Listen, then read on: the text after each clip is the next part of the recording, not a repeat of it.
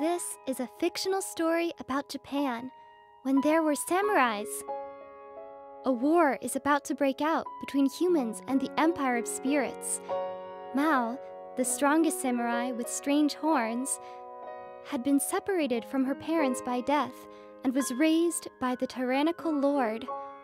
Mao is human but because of the demon horns on her head, she is not considered human. She has always felt lonely. Only her best friend, Onatsu, was able to save her from her loneliness. Filled with Onatsu's family like love and affection, Mao felt happy for the first time in her life. Then, a war begins between humans and monsters. Mao is going to protect both their country and Onatsu. But Onatsu says, This is the end of our friendship. She bursts into tears and disappears. What is the true meaning of Onatsu's words? And what will become of their friendship?